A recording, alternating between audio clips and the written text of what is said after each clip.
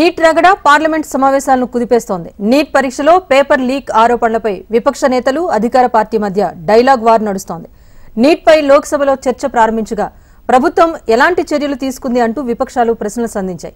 దాంతో paper leak అయినట్టు ఎక్కడా ఆధారాలు లేవని నేషనల్ టెస్టింగ్ ఏజెన్సీ నిర్వహించిన రెండు వందల నలభై పరీక్షల్లో ఎక్కడా అక్రమాలు వెలుగు చూడలేదన్నారు education minister Dharmendra Pradhan.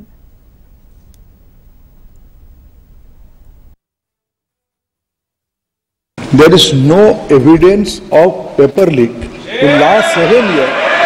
in any numbers. So there are incidents. Already this case, right now, Speaker sir, this case is going in front of Honorable Supreme Court.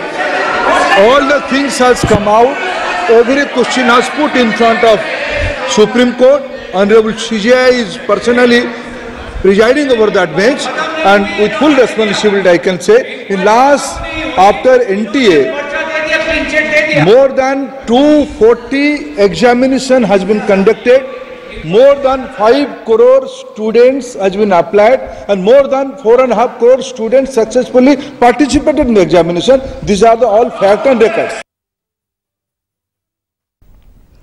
NEET వివాదంపై లోక్సభలో మాట్లాడిన రాహుల్ గాంధీ పేపర్ లీక్ దేశవ్యాప్తంగా యువతకు తీవ్ర సమస్యగా మారిందన్నారు. దేశంలో పరీక్షల నిర్వహణ గాడి తప్పింది అంటూ ఆరోపించారు. కేంద్ర విద్యాశాఖ మంత్రికి నీట్ విషయంలో ఏం జరుగుతుందో కూడా తెలియకుండా మాట్లాడుతున్నారు అంటూ విమర్శించారు రాహుల్. ఇక టెస్టింగ్ సిస్టంలో ప్రభుత్వం ఎలాంటి చర్యలు తీసుకుందని ప్రశ్నించారు ఆయన.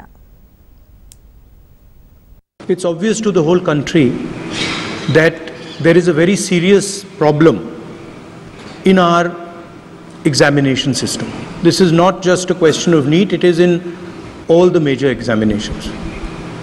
Now, the minister has blamed everybody except himself.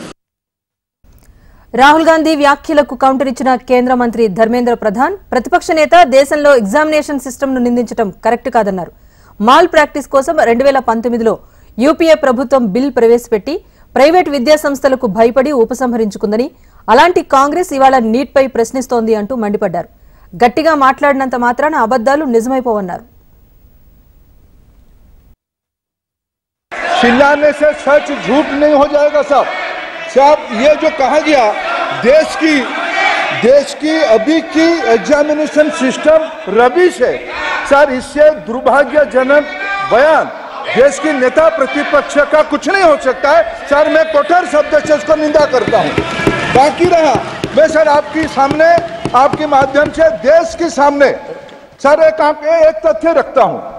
Sir, जिन्होंने रिमोट से सरकारें चलाई है 2010 में तीन बिल आया था, सर, शिक्षा सुधार के लिए उन्हीं की पार्टी के नेता आदरणीय कपिल सिब्बल साहब तीन बिल लाए थे। उसमें से एक बिल था एजुकेशन उसमें एक एक बिल था prohibition of unfair practice bill 2010 जिसके उद्देश्य एजुकेशन इंस्टीट्यूशन में माल प्रैक्टिस को बंद करना।